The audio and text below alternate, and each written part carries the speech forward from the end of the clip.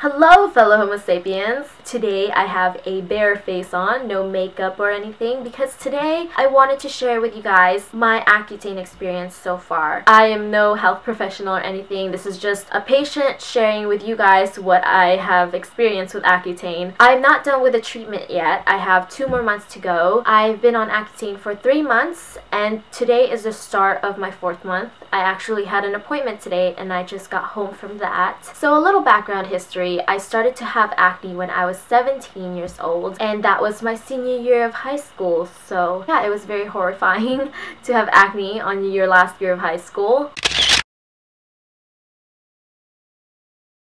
At first, I thought it was all going to go away. There, there, was just a few pimples here and there. Then the pimples started coming gradually, and I thought, um, this is not normal. And my parents were actually telling me to go to a dermatologist, but I didn't want to because because I wanted to find a product that is readily available to help my face. But that didn't work out, apparently. No matter what I tried from the drugstore or from Sephora, nothing was working on me. I didn't seek treatment till I was 18, and was out of high school. So I went to dermatologist to ask them check out my face and stuff. I thought they were going to prescribe me Accutane because I knew of Accutane. I think anybody who has acne knows of Accutane. So my face got checked out and they prescribed me doxycycline instead, which fun fact is also a treatment for chlamydia. The nurse suggested doxycycline because it's less harsh than Accutane. So I thought, hey, why not? I obviously trust this nurse and what she's saying. So I took two doxycycline pills a day for a few months and it took me a while to notice some difference on my face. It did eventually work and I did notice that my face was starting to clear up. I was also prescribed with retin-A cream along with doxycycline which I applied on my face every night and that thing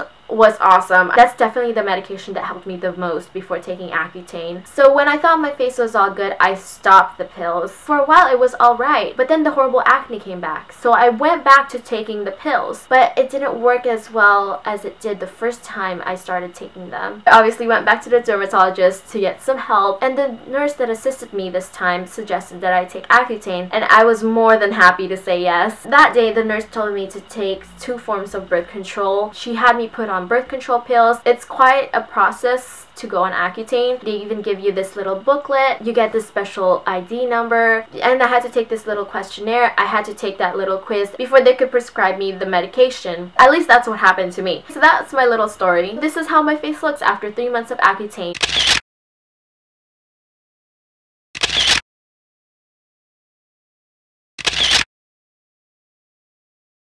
I've been very happy with the results so far. The usual side effects that the nurse warned me that I may get were dry lips, hands, and scalp lower back pain and some joint pain. And the nurse also warned me that I may have dry eyes. My eyes didn't really get dry. I mean, they're a little dry, but nothing so bothersome and I didn't even buy eye drops and all is good. With the joint pain, I felt it in the middle of the third month. Didn't bother me a whole lot, but it was noticeable. As for lower back pain, I don't think I got lower back pain.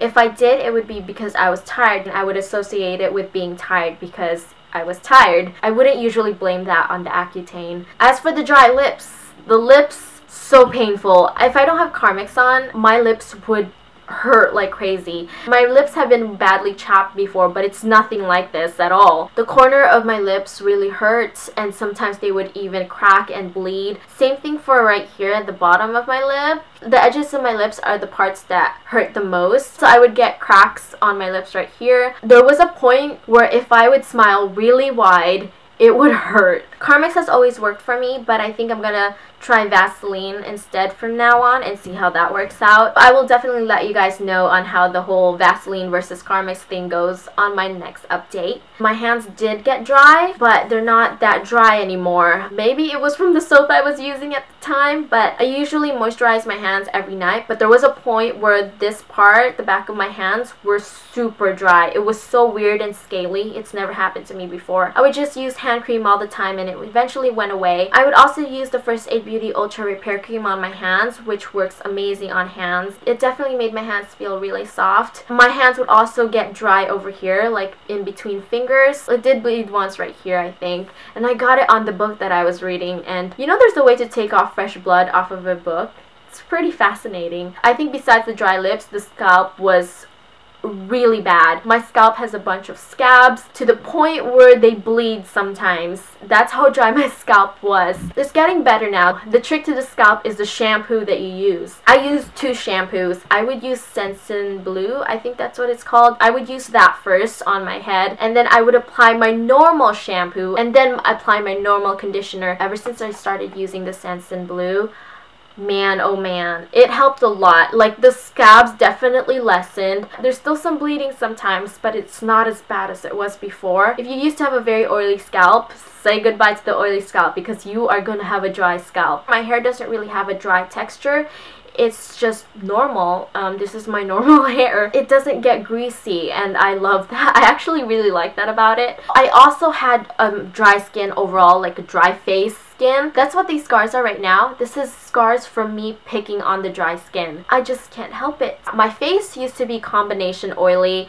and now it's normal to dry. What's helped me a lot on my dry face is the First Aid Beauty Ultra Repair Cream. As I said earlier, this works on the hands, this works on the face, elbows, bodies, knees, toes. This works everywhere and it's amazing. Very versatile cream. I highly recommend you check this out. I've been using it since before I even started Accutane. Another product that I would use is the Josie Maran Argan Infinity Cream Intensive Creamy Oil. This is more of an oil-based cream. It's very oily. My skin also loves this. It just really helps with the dry patches. I really like both of these products, especially when they're working together. But if I had to choose one over the other, I would definitely choose the Ultra Repair Cream.